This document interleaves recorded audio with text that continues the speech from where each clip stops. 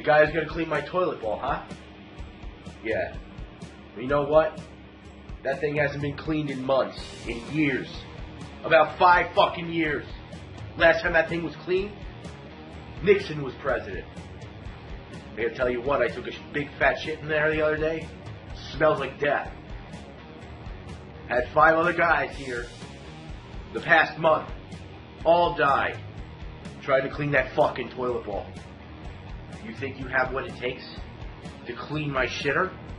After I actually shit in that fucking thing? I had fucking diarrhea, and I didn't even fucking clean it or flush. Let's see what you got. Can you get that toothbrush, bring it over to that toilet bowl without fucking drowning like everyone else?